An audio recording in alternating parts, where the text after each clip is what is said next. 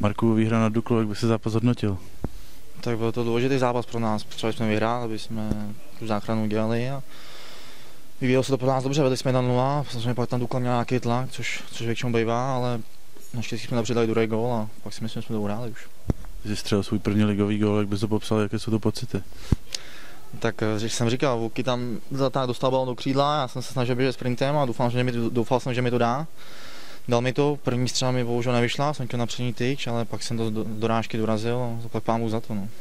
Ty jsi vůbec byl hodně vidět, ještě jsi tam střílel jednou a pak si nahrával Aldo Bajezovi do šance, takže povedené střídání. Tak já se snažím udělat vždycky, jsem útočník, tak snažím se udělat co nejvíc práce spíš k soupeřové brance než, než naší, takže de facto to je moje povinnost. No. Zužitkoval si svoji formu, protože v minulém týdnu si střílel góly a přihrával se za juniorku. Mm, tak bych to neviděl, tak jako trenér mě poslal hrát, jako já jsem i hrát chtěl a samozřejmě zápas je úplně jiný než trénink, takže že mi to vyšlo za juniorku jsem rád, jsem pomohl klukům, ale, ale dneska to bylo vlastně něco jiného, samozřejmě nemůžeme to srovnávat, je to, bo, jako je to vejš, tady ta soutěž, takže.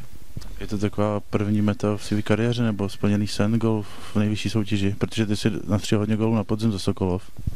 No, spíš to je začátek velký cesty, cesta bude dlouhá, samozřejmě je to jenom jeden gól, ale to nic neznamená. Jako, gol jsem, jsem, jsem, jsem rád, že jsem mu dal, ale, ale říkám, ta cesta bude ještě dlouhá, se někam dostat. Když utkání začínalo, tak brácha bojoval obránce mistrovství světa. Mluvili jste spolu před zápasem třeba včera? Včera jsme spolu mluvili přes telefon, tak jsem mu popřál hodně štěstí, u mě taky. A určitě si zavoláme, ale říkám, určitě mě pochválí, ale, ale spíš mi řekne, že, že se musí makat dál, že to fakt nic neznamená zatím ještě. Ale pro dnešek budeš asi spokojenější ty. Jsem rád, že, že jsem dal gól a že jsem klukům pomohl a důležitě, že se vyhrál.